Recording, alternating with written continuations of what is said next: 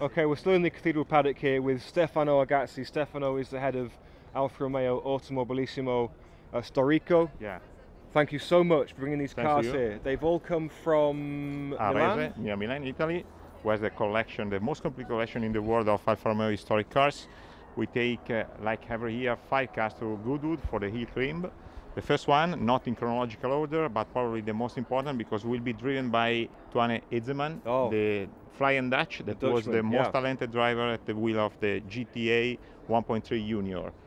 The Little Beast from Autodelta that that was the winner of 1971 and 1972 uh, European uh, um, Championship for uh, Touring Car Challenge.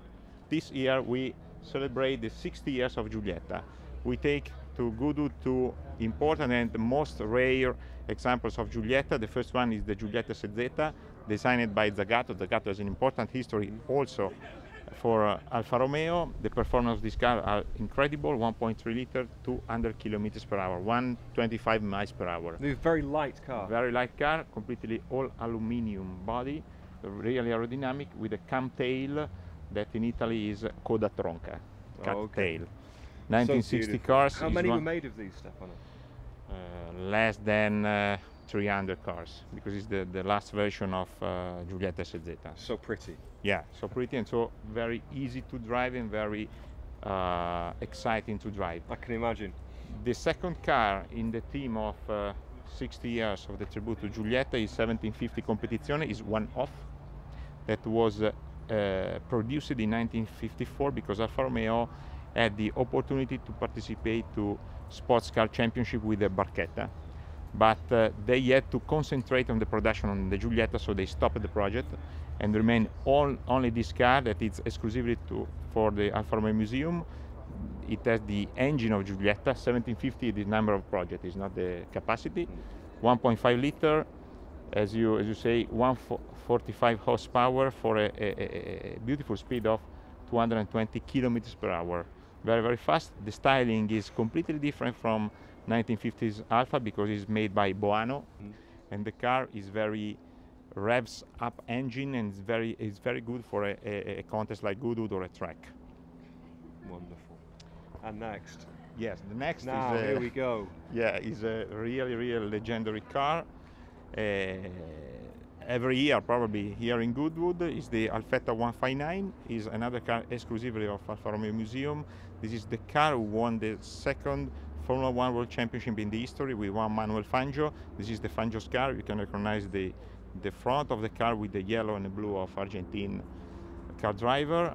Uh, this car is completely working for an incredible power of 425 horsepower from 1.5 liter with supercharger. Incredible. If you calculate the horsepower per liter are about 300.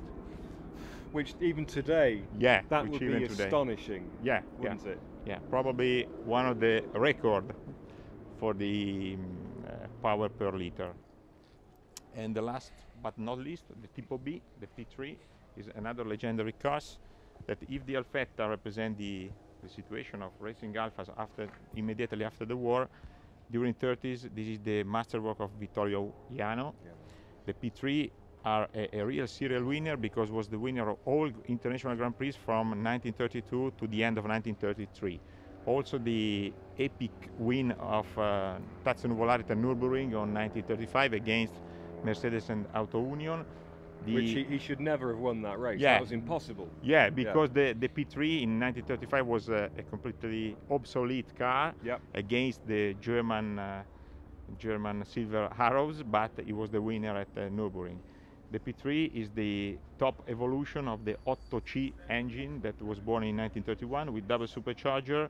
The car is really uh, all focused to performance. It's very streamlined, very simple, and the, one of the peculiarity of the car is the uh, rear uh, suspension that are engineered to down with the center of gravity of the of the driver and other performance during the driving. It's it's it's a tremendous honour Yeah. to see all these cars here. Uh, they, they have such a very special place in history. Alfa Romeo will, will always have, uh, I think, a special place in the hearts Yeah. of, of car enthusiasts. Yeah. Stefano, thank you very much Thank you again. very much. Thank you.